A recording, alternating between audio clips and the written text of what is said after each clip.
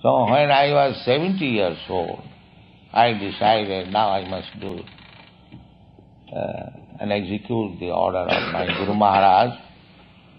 And thus, this movement was started in 1965 from New York.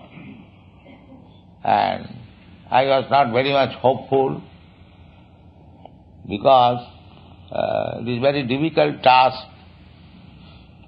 just opposite the European and Western culture. I came, when I first came, I had no money. So uh, I got a free passage uh, through some Indian steam navigation company. So I came by ship. So when I was on the ship at hmm, Boston port, Commonwealth port, I was thinking that I have come here, I do not know what is the purpose. Because how the people will accept this movement?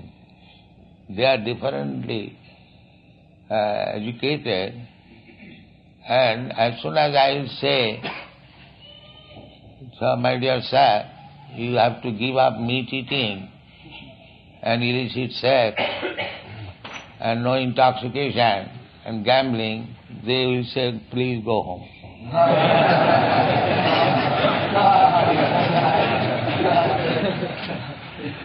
because that was the experience.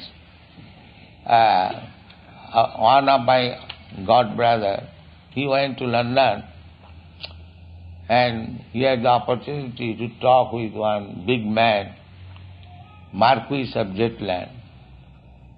Marquis of Zetland was formerly governor of Bengal. At that time, I was student. He was Scotsman, and I was student of the Scottish Churches College.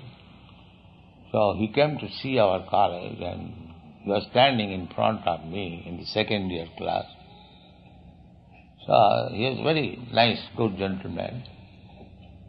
So he proposed to my god brother whether you can make me a Brahman. So my god brother proposed, yes, we can make anyone Brahmana, provided you follow this principle.